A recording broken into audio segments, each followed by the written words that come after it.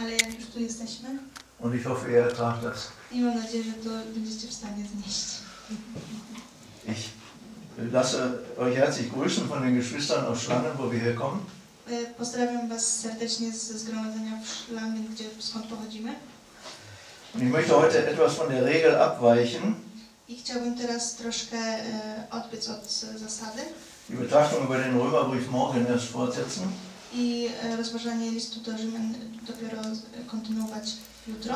und über eine Stelle aus dem Hebräerbrief ein paar Gedanken sagen, A dzisiaj powiedzieć parę myśli na temat listu do Hebrajczyków, die mir in den Sinn gekommen sind, als wir das Lied gesungen haben. które przyszło mi dzisiaj na myśl, kiedy śpiewaliśmy pieśń Aus, aus Hebräer 13, z listu do Hebrajczyków 13.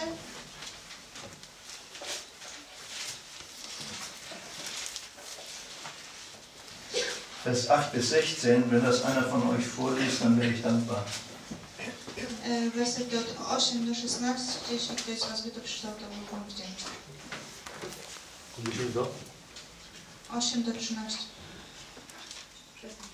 13 rozdział Hebrajczyków. 16? 13, 8 do 16. 13, Vers 8, Ja. 16. Jezu Chrystus, wczoraj i dziś ten sam i na wieki. Nie dajcie się zwodzić przeróżnym i obcym naukom. Dobrze jest bowiem umacniać serce łaską, a nie pokarmami. Tym, którzy o nie zabiegali, nie przyniosły one pożytku.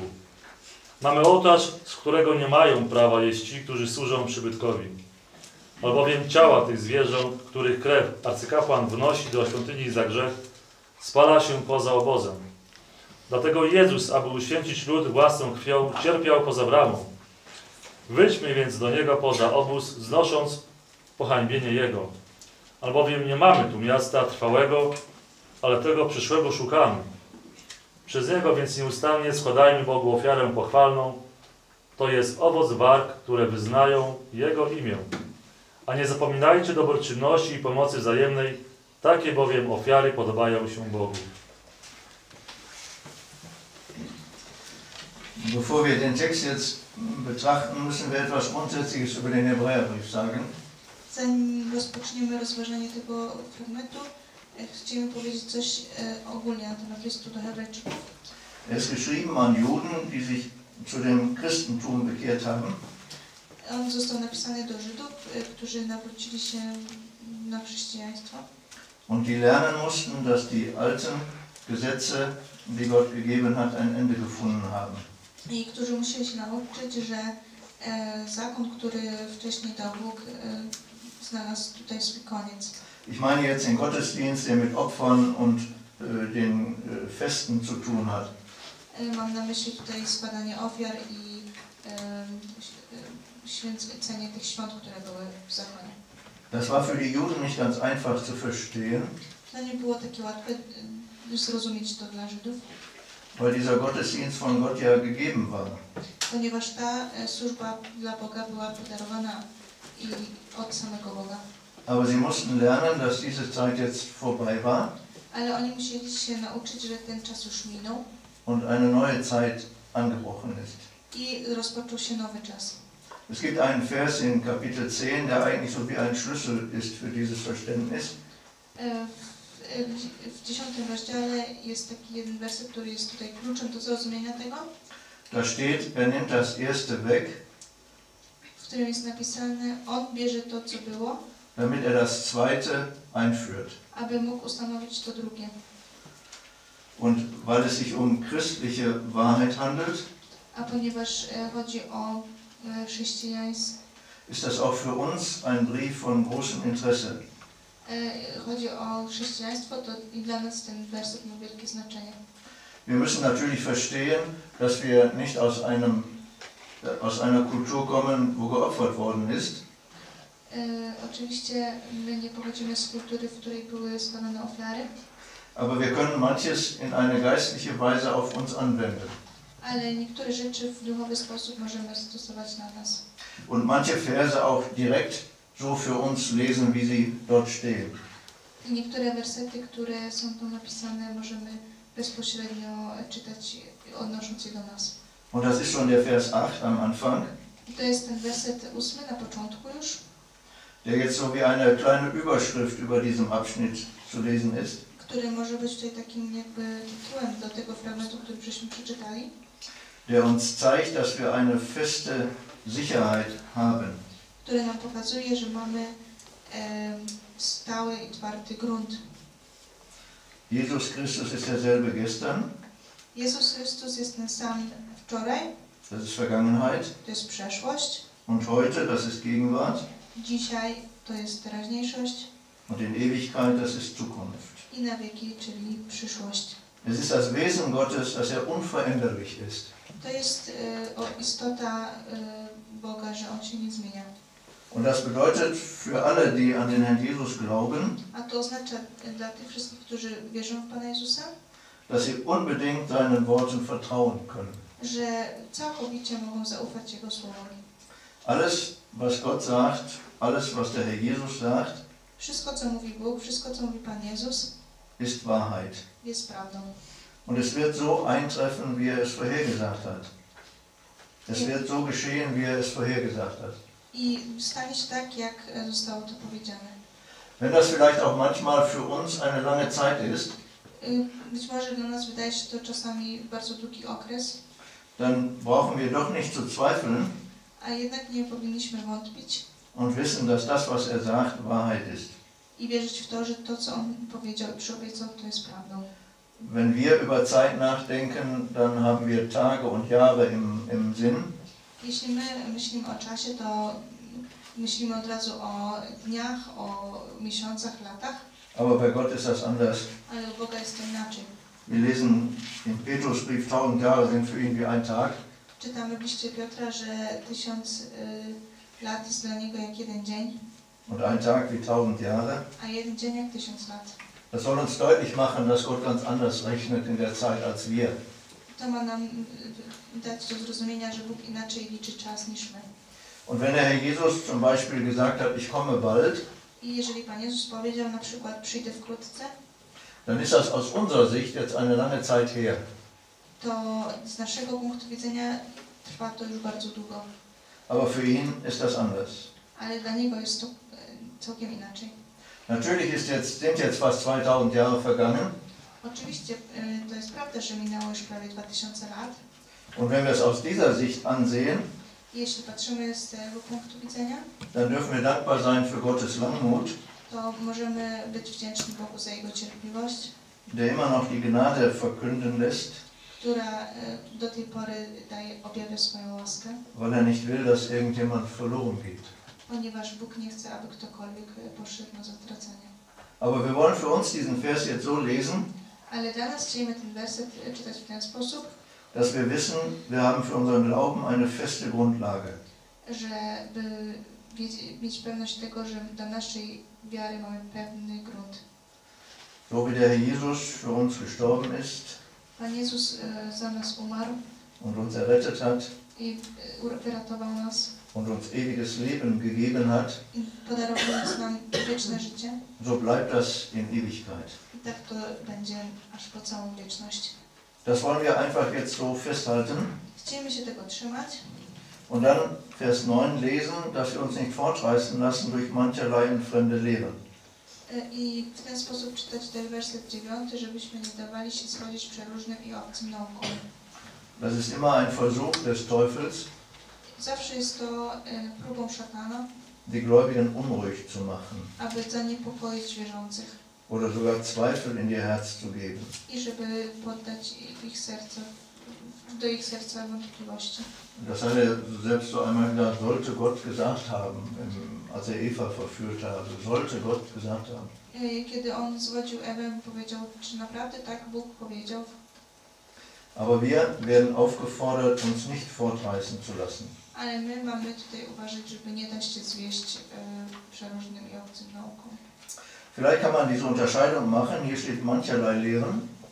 Może ym, można zrobić tutaj takie rozróżnienie, jest napisane przeróżnym naukom. Da gab es damals viele Lehrer, die behaupteten, die Juden müssten auch den alten Gottesdienst noch halten. E, W tamtych czasach e, bywali nauczyciele, którzy twierdzili, że tak, Żydzi, którzy się nawrócili, mają dalej e, czynić tą służbę, która była w zakonie opisana. Als Paulus von seiner letzten Reise nach Jerusalem kam, Kiedy e, Paweł przybył podczas swojej ostatniej podróży do Jerozolimy, da wurde er in Jerusalem begrüßt mit den Worten, to tam go przywitano słowami du siehst, dass viele Juden sich bekehrt haben. e, Widzisz, wielu Żydów się nawróciło. Ich gebe das jetzt mit meinen Worten wieder, das ist nicht genau der Text. Ja teraz to mówię swoimi słowami, to nie jest e, cytowany tekst. Viele haben sich bekehrt und sind Eiferer für das Gesetz. Wie, wielu się nawróciło i są tacy pi- pilni, pilnie wykonują zakon. Da gab es also immer noch eine Vermischung zwischen dem Alten und dem Neuen. I widzimy tutaj to pomieszanie starego z nowym. Ich möchte das als mancherlei Lehren bezeichnen. Chcę to nazwać tymi przeróżnymi, że to, jest, to są te przeróżne nauki. Und wir werden auch in diesem Text hier, in diesem Abschnitt hier finden, dass der Heilige Geist möchte, dass wir davon loskommen. I chcę tutaj pokazać, że Duch Święty pragnie nam pokazać, abyśmy z tego wyszli, uwolnili się. Vielleicht haben wir das heute in einer anderen Form, Być może w dzisiejszych czasach mamy to w innej formie, dass manche Punkte der Heiligen Schrift ganz besonders betont werden na przykład w ten sposób, że niektóre punkty z, z Pisma Świętego są e, bardziej e, wyróżniane und damit verliert man das Gleichgewicht. i w ten sposób traci się równowagę. Wenn ein Punkt immer ganz besonders herausgehoben wird, dann vernachlässigt man leicht etwas anderes. Aber wenn wir an fremde Lehren denken, dann meine ich, dass wir da etwas finden, was nicht christlich ist. to mam na myśli coś, co nie jest w ogóle chrześcijańskie. Und wir müssen uns nicht darüber wundern. Schon früh lesen wir in der Bibel von falschen Brüdern, Bardzo szybko w Biblii czytamy o fałszywych braciach, von falschen Lehrern o fałszywych naukach und von falschen Aposteln, i o fałszywych apostołach.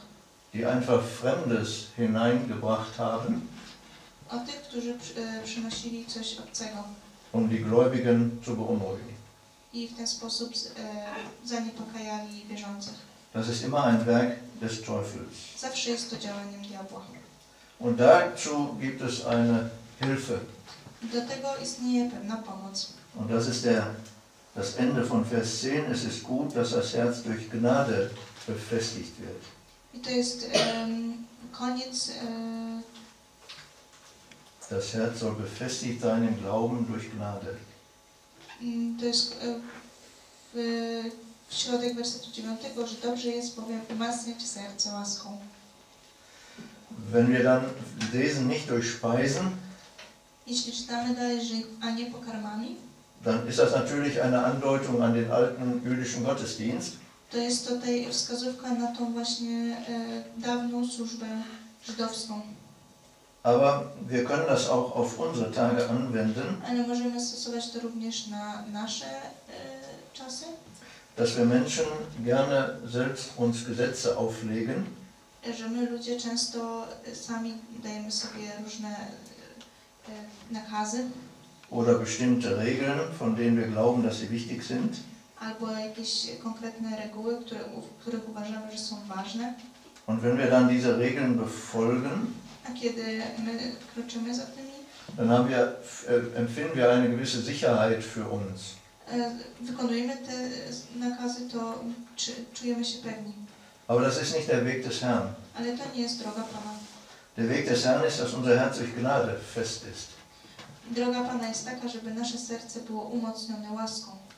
Dass wir also im Herzen festhalten, Abyśmy w sercu e, mieli takie postanowienie dass wir durch Gnade errettet sind, pewność, że jesteśmy przez łaskę zbawieni, nicht durch Werke, nie przez uczynki, nicht durch irgendein Ritual, nie przez żadne rytuały, sondern allein durch die Gnade, die uns von Gott gegeben ist. a tylko przez łaskę, która została nam podarowana od Boga. Und dann dürfen wir auch daran denken, dass die Gnade nicht aufhört, I możemy o tym myśleć, że łaska mm, ta nie przestanie istnieć. Sie geht mit uns die ganze Zeit, in der wir hier auf der Erde leben.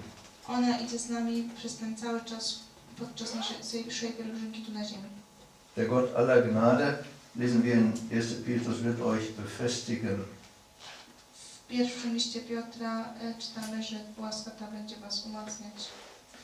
Das ist manchmal ein Gefühl vielleicht der Unsicherheit dann in unserem Herzen. E, Czasami bywa takie poczucie niepewności w naszych sercach. Es gibt so ein Bild in, im Matthäus-Evangelium oder in den Evangelien,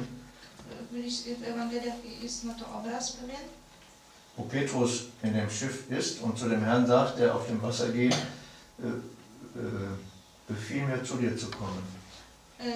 o Piotrze, który widząc Pana Jezusa chodzącego po morzu powiedział do niego rozkaż mi przyjść do siebie po wodzie.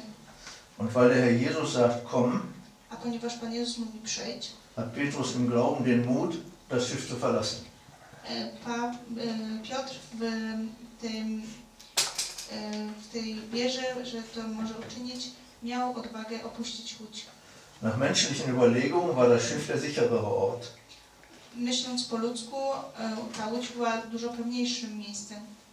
Aber Petrus hat vertraut, dass der Herr ihn auch über das Wasser gehen lässt, wenn er gesagt hat, komm. Ale Piotr wierzył Panu, że on będzie w stanie do niego przyjść, jeżeli Pan Jezus do niego powiedział przyjdź. Das heißt, er hat alle menschliche Sicherheit verlassen A więc on opuścił wszelką ludzką e, podstawę pewności und auf das Wort des Herrn vertraut. i zaufał całkowicie Panu. Und das soll auch für uns so sein, dass wir alle menschlichen Regeln verlassen, I także powinno być w naszym życiu, żebyśmy porzucili wszelkie wenn es um unsere Heilsgewissheit geht, meine ich, ludzkie reguły, jeśli chodzi o nasze, pewność naszego zbawienia und allein auf die Gnade vertrauen. i tylko e, polegali na łasce Pana.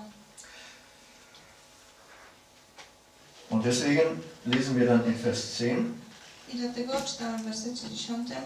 das ist natürlich zunächst einmal wieder an die Juden gerichtet, Oczywiście to najpierw w pierwszej kolejności jest skierowane do Żydów, dass wir einen Altar haben, von dem die nicht essen dürfen, die noch der Hütte, also dem alten Ritual dienen.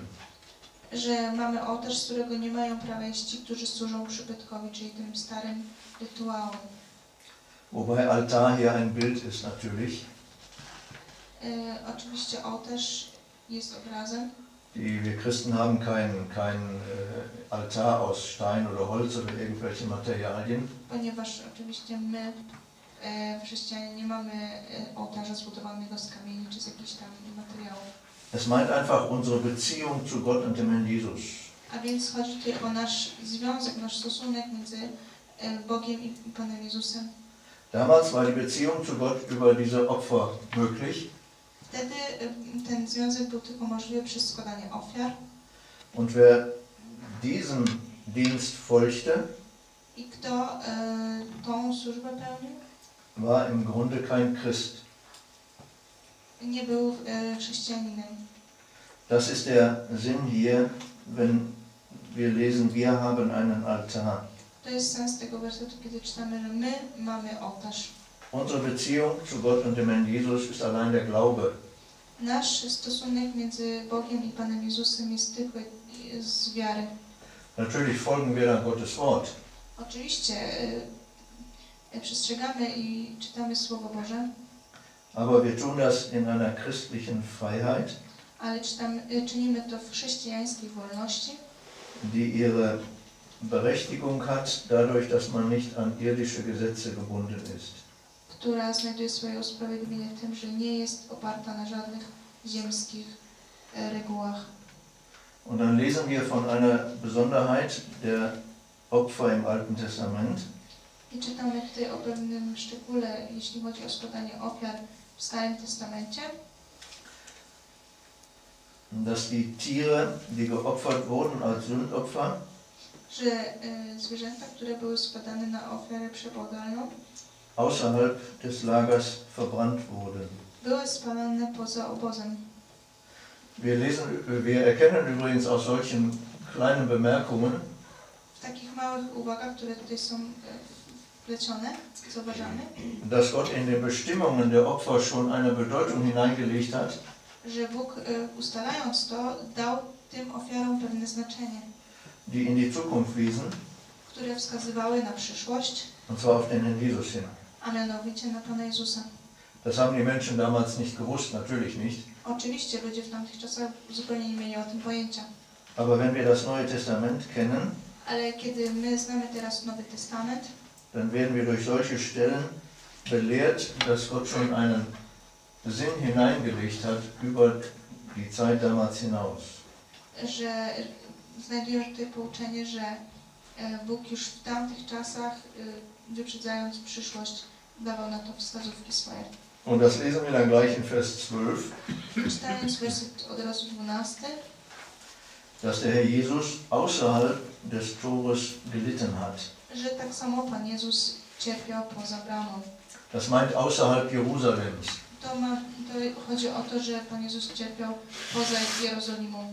Und das hat deshalb eine Bedeutung, weil Jerusalem zu dieser Zeit noch der Mittelpunkt des alten äh, Gottesdienstes war. że Jeruzalem w tamtych czasach był centrum e, tej, tego, gdzie była wykonywana e, służba Bogu przez Żydów. Und mit, diesem, mit dieser Bestimmung, die Tiere außerhalb des Lagers zu verbrennen, I z tym e, stwierdzeniem, że z tym postanowieniem, że zwierzęta były spalane poza obozem, hat Gott schon im Herzen gehabt, dass der Herr Jesus einmal ein Opfer bringen würde. Bóg miał już na myśli wtedy to, że Pan Jezus nie, kiedyś będzie miał złożyć e, swoje życie e, jako ofiarę das auch außerhalb des Lagers i że to wydarzy się poza, ster sterben würde. że Pan Jezus umrze poza e, bramą, czy poza obozem. Und damit sagt er den Empfängern seines Brief, des Empfängern des Briefes hier, I to e, mówi tym odbiorcom tego listu, diese, diese, dieses Bild hat jetzt seine Erfüllung gefunden. Że ten obraz teraz znalazł swoje wypełnienie. Und das ist für uns dann die Ermunterung in Vers 13, lasst uns zu ihm hinausgehen. A dla nas jest teraz zachęta w wersecie 13. Wyjdźmy więc do Niego poza obóz. Wir müssen das jetzt natürlich in einem geistlichen Sinn verstehen. Oczywiście musimy teraz to rozumieć w takim duchowym znaczeniu, w duchowym sensie. Der Herr Jesus wurde von den Juden verworfen, Pan Jezus został odrzucony przez Żydów, obwohl er der Messias war, pomimo że był Mesjaszem, obwohl die Pharisäer das aus der Schrift erkannt, erkennen mussten pomimo że faryzeusze musieli to rozpoznać z pism, und trotzdem haben sie ihn verworfen. a mimo to jednak e, go odrzucili. Das heißt, sie haben eigentlich selbst dem Judentum damit ein Ende gemacht. A więc oni wte, wtedy sami e, uczynili koniec żydowstwa. ohne es zu wissen und ohne es zu wollen. Nie wiedząc zupełnie o tym i nie chcąc wcale tego. Aber für die Juden damals, die jetzt Christen geworden sind, Ale dla tych Żydów wtedy, którzy stali się chrześcijanami, bedeutete das, dass sie auch mit dem Judentum nichts mehr zu tun hatten, wenn sie dem Herrn Jesus angehörten. oznaczało to, że nie mieli mieć już nic więcej do czynienia z żydowstwem, jeżeli teraz chcieli służyć Panu.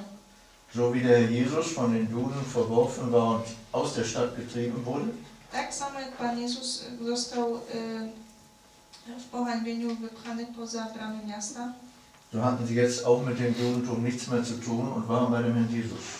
tak samo oni nie mieli mieć teraz nic do czynienia z żydowstwem, jeśli chcieli być przy Panu. Das war damals und ist heute eine Haltung, die Schmach mit sich bringt. Ich weiß nicht, wie das bei euch steht, Schmach.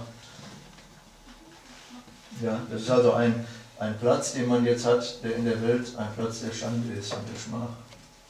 Y, a więc wszyscy ci, którzy przyznają się do Pana, muszą y, przyjąć, y, znosić pohańbienie wśród, wśród ludzi ze świata. Wir müssen nur daran denken, wie man den Herrn Jesus noch am Kreuz beleidigt hat. Pomyślmy o tym, jak Pana Jezusa obrażano, kiedy On wisiał na krzyżu. Dass man selbst diesen sterbenden Christus noch ver, beleidigt und verhöhnt und verspottet hat. Że nawet tego, który, Chrystusa, który umierał, wy, wydrwiono Go, wyśmiano się z Niego i poniżano. Und das geht in einem gewissen Sinne durch die Zeit, Zeitalter durch, dass der Herr Jesus immer der Verworfene ist. I tak się dzieje przez y, te wszystkie lata, że Pan Jezus jest zawsze tym, który jest odrzucony przez ludzi. Die Menschen wollen ihn nicht. Ludzie go nie chcą. Das kann man immer wieder selbst erleben. Można to wciąż na nowo y, przeżywać. Man kann mit den Menschen wirklich über Gott reden, Można z ludźmi rozmawiać o Bogu, aber wenn man den Herrn Jesus mit ins Gespräch bringt ale jeśli włączy się do rozmowy Pana Jezusa und auf den Glauben an den Herrn Jesus, i o, wy- o, zacznie się mówić o wierze w Niego, dann merkt man, dass die Geister sich scheiden. to można zauważyć, że duchy się rozdzielają. Den Jesus will man nicht. Pana Jezusa się nie chce. Aber wir werden ermuntert, mit ihm außerhalb dieses Lagers zu stehen und auch diese Schmach zu tragen. Ale my jesteśmy wciąż na nowo zachęcani, aby wyjść z Nim poza obóz i żeby znosić te pohańbienie. Es ist interessant, was man im Hebräerbrief über Mose liest, in Kapitel 11. Ciekawe jest to, co jest napisane w 11 rozdziale o Mojżeszu, Vers 24 und 25. wersety 24-25. Durch Glauben weigerte sich Moses, als er groß geworden war, ein Sohn der Tochter des Pharao zu heißen, und er wählte lieber mit dem Volk Gottes Ungemach zu leiden, als den zeitlichen Genuss der Sünde zu haben, indem er die Schmach des Christus für größer und Reichtum hielt als die Schätze Ägyptens, denn er schaute auf die Belohnung. Wenn wir an Mose denken, hat er den Herrn Jesus natürlich noch nicht gekannt. Ciekawe jest to, co jest napisane w liście do Hebrajczyków 11, 24, 26. Aber in einem moralischen Sinn hat er sich auf die Seite des Herrn Jesus gestellt Mojżesz nie znał wtedy jeszcze Pana Jezusa, ale już wtedy y, postawił się na, po jego stronie. indem er seine Stellung als äh, äh, Regierender in Ägypten aufgegeben hat und zu dem versklavten Volk gegangen ist. W tym momencie, kiedy opuścił stanowisko panowania i przyłączył się do ludu, który był w niewoli. Die Israeliten waren verachtet von den Ägyptern. Izraelici byli poniżani przez Egipcjan. Und so ist er in einem übertragenen Sinne zu dem Christus gegangen und hat seine Schmach auf sich genommen. I w takim przenośnym sensie on też y, przyłączył się tak jakby do Chrystusa, niosąc jego hańbę. Und das spricht natürlich unsere Herzen an, Czyż nie porusza to naszych serc? ob wir bereit sind, das auch zu tun. Czyż my też nie jesteśmy, czy my nie jesteśmy też gotowi tego czynić? Ob wir bereit sind, uns zu dem Herrn Jesus zu bekennen, Czy jesteśmy gotowi przyznawać się do Pana Jezusa, wenn wir ihn denn angenommen haben als Heiland. jeśli przyjęliśmy Go do swojego serca jako Zbawiciela? Sind wir dann bereit, wirklich diese Schmach zu tragen? Czy jesteśmy gotowi, aby nieść tą hańbę? Der Herr Jesus steht draußen Pan Jezus stoi na zewnątrz, und wir gehen zu ihm hinaus. a my wychodzimy do Niego. Das ist ein Platz, der in der Welt keine Ehre hat. Jest to miejsce, które nigdy w świecie nie znajduje chwały, Aber das ist ein Platz bei ihm. ale to jest miejsce przy Nim. Das muss etwas sein, was in unseren Herzen lebt. To musi być coś, co żyje w naszych sercach. Das kann man nicht durch einen Befehl herbeiführen. Nie da się tego uczynić przez jakiś rozkaz. Das muss aus unserem Inneren kommen, in dem Gedanken, du Herr Jesus bist für mich gestorben. To musi przyjść, każdy musi sam w sercu postanowić z tą myślą, że Ty, Panie Jezu, umarłeś za mnie na Wir haben das gesungen, du hast für mich das Kreuz getragen. Śpiewaliśmy Ty y, poniosłeś za mnie moje y, grzechy Und deswegen will ich dir folgen. i dlatego chcę Tobie służyć. Und dann kommt Vers 14. A następnie pojawia się werset 14. Wir haben hier keine bleibende Stadt. Nie mamy tutaj miasta trwałego. Das ist zunächst einmal eine Feststellung. Das ist so. Y, Tutaj to jest tak stwierdzone, to tak właśnie jest. Die Juden hatten immer an Jerusalem gedacht, natürlich, Żydzi oczywiście myśleli cały czas o Jerozolimie, an den Gottesdienst, den Gott eingerichtet hat, o służbie, którą Bóg ustanowił, an manche Verheißungen des Alten Testamentes, o obietnicach Starego Testamentu, die auf das tausendjährige Reich schon hinwiesen, które wskazywały już wtedy na tysiącletnie królestwo, wo Gott auch gesagt hat, dass er Zion befestigen würde. y, że Bóg powiedział, że utwierdzi Syjon, Aber sie mussten jetzt lernen, dass in dieser Zeit eine Unterbrechung gekommen ist, ale oni musieli się też nauczyć, że w tym czasie nastąpiło takie, dass sie nicht etwas Irdisches hatten, sondern etwas Himmlisches. Nastąpiła przerwa, że oni nie mieli y, nic ziemskiego, tylko niebiańskiego. Das irdische Jerusalem ist vergänglich, E, Ziemski Jer- Jeruzalem miało przeminąć, aber das, was die Christen haben, das ist ewig. ale to, co mają chrześcijanie, jest wieczne. Wenn es heißt, dass wir eine zukünftige suchen, A jeśli jest napisane, że przyszłego szukamy, dann ist das keine Unsicherheit, to to nie jest niepewność, sondern es ist eine Zuversicht im Glauben, ale to jest zapewnienie w wierze, weil wir auch da auf Gottes Wort vertrauen. żebyśmy ufali Słowu Pana. Wir werden einmal im Himmel bei dem Herrn Jesus sein W przyszłości będziemy razem z Chrystusem w niebie und das ist unsere Hoffnung. i to jest nasza nadzieja. Und bis das Wirklichkeit ist, A aż to się spełni, sind wir bei dem Herrn Jesus außerhalb des Lagers. do tej pory będziemy z Chrystusem poza obozem. Vielleicht noch ein ganz kurzer Gedanke zu dem Lager. Jeszcze krótka myśl do tego obozu. Das war damals ein Gottesdienst, der mit materiellen Dingen äh, gehalten wurde. Wtedy to było materialne miejsce, które e, istniało, Aber diese Aufforderung, lasst uns zu ihm hinausgehen, a to em, ta zachęta, wyjdźmy do niego, das ist für uns nicht ein für alle Mal, to nie jest dla nas raz na zawsze, Sondern- to sondern das ist eine ständige Herausforderung für uns, tylko to jest ciągłe wyzwanie, abyśmy to czynili. dass wir uns nicht menschliche Regeln aufstellen, Żebyśmy nie czynili sobie ludzkich reguł, von denen wir meinen, dass sie für den Gottesdienst nötig seien. Pana. In der Christenheit ist das natürlich äh, ganz normal, normalne. dass man zum Beispiel in der katholischen Kirche eine Liturgie hat. Na przykład w kościele katolickim, że, się, y, że jest tam liturgia. Es gibt manche evangelikalen Kreise, die sich bestimmte Gesetze und Paragraphen geben. Są też ewangelickie kościoły, które dają sobie jakieś y, przeróżne paragrafy. Und ich meine, das sind alles Elemente, die wir als Lager bezeichnen müssen. I to są wszystko elementy, które musimy uznać jako obóz. Wir müssen lernen, dass wir uns durch den Geist leiten lassen.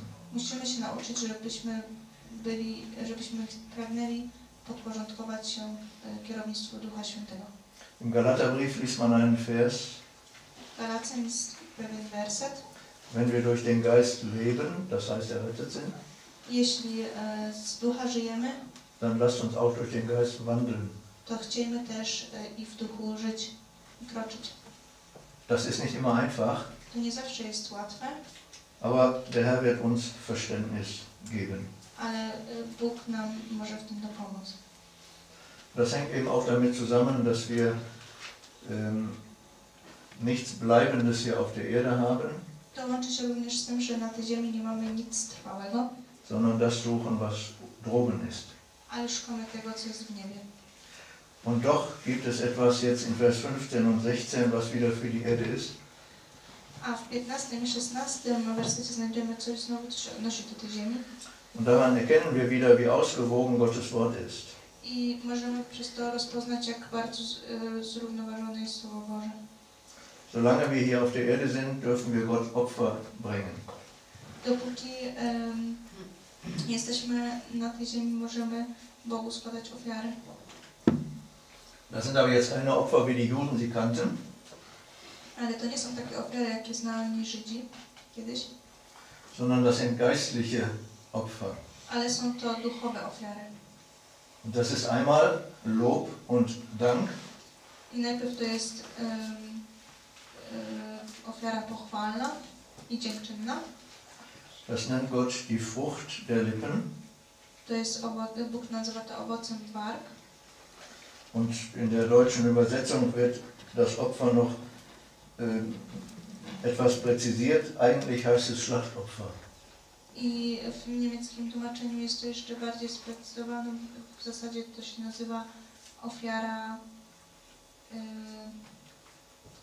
Schlachtopfer, wie im Alten Testament Tiere geschlachtet wurden, das waren Schlachtopfer. ta ofiara, którą jeśli chodzi o ofiarę taką, w której się coś zabijało. To też tak jest na- o- określone w Starym Testamencie.